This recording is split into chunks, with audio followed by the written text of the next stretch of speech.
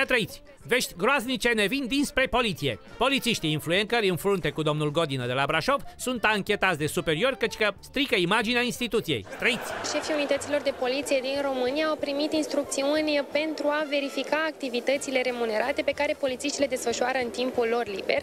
Cu precădere ar trebui să aibă atenția îndreptată către activitățile lor desfășurate în mediul online. În acest sens, Marian Godină și-a spus părerea chiar pe pagina sa de socializare și susține că nu acesta ar fi motivul pentru care imaginea instituției ar putea fi degradată, ci poliția ar trebui să se îndrepte către, uh, către incidentele violente sau atacurile uh, din spitale. Mai mult decât atât, polițistul a publicat inclusiv un raport care arată cu exactitate ce activități desfășoară el în timpul liber. Mai exact, scrie cărți, participă la emisiuni de divertisment și activează în mediul online. Ați auzit, da? Șefii din poliție se tem că influențările strică imaginea.